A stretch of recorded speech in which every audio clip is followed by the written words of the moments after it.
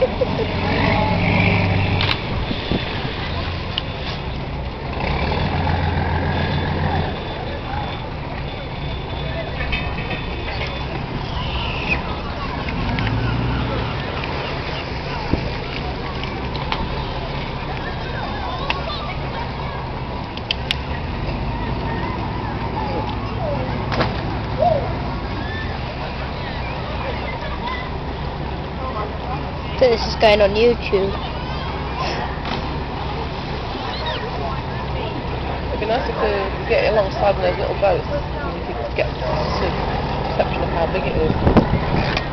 Yeah.